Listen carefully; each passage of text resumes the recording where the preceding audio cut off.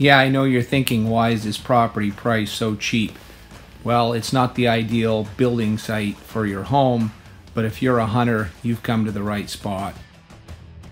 The 247 acres is surrounded by cornfields and other large tracts of timberland. A recent harvest has opened up some new growth. All of this combines to hold game on this property.